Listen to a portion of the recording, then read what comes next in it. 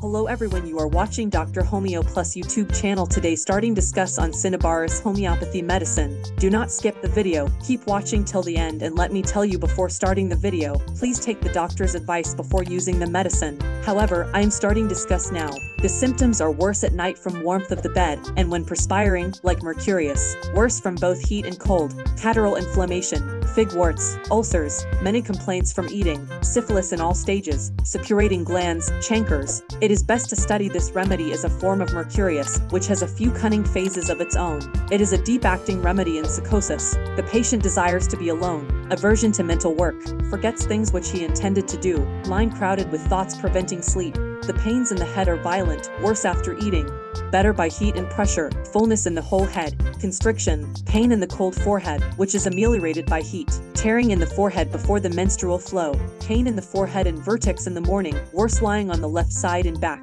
ameliorated lying on the right side, and it passes off after rising, shooting pains in the left side of the head with flow of saliva and copious urine, headache with nosebleed, sensitive scalp and skull, supraorbital neuralgia, stitching, and dull pains in the eyes, inflammation of the conjunctiva, worse at night, red, congested lids, ptosis, weak vision, iritis of syphilitic origin. The symptoms are worse at night, sharp paroxysmal pains from the warmth of the bed, roaring in the ears after eating, itching in the ears, cold spot on root of nose pressure on the bones of the nose, coryza with dirty yellow mucus drawn from posterior nares, epistaxis, pains in back and limbs. The symptoms of the teeth are similar to mercurius, tongue coated white every morning, taste putrid, metallic and bitter, sore ulcerated mouth, salivation, inflammation of mouth and throat with great thirst, worse at night, dry mouth, and viscid mucus in the throat, fullness in the throat, with constant desire to swallow, dryness of the throat, aversion to food, eructations, and vomiting, tenderness of the stomach, syphilitic buboes,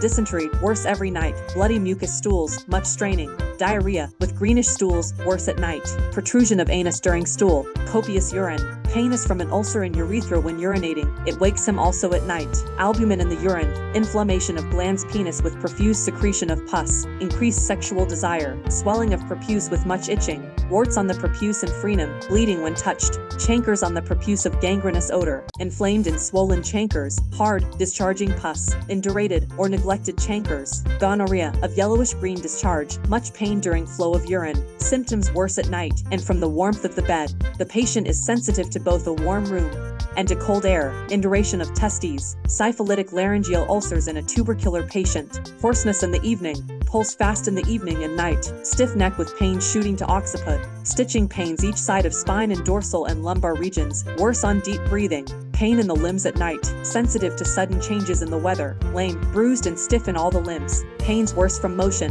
syphilitic nodes on tibia, pain in tendoachilles and os calcis after walking, numbness in the feet, cold feet day and night, wandering gout, burning itching of the skin, worse scratching, itching all over, redness, and red spots on the skin, pustules, gangrenous ulcers, elevated ulcers. It is antidoted by heparin and nitric acid. It is closely related to Thuja. Don't forget to like and share my video. If not subscribed, subscribe and press the bell icon on the side to get the notification of the next video. Thank you.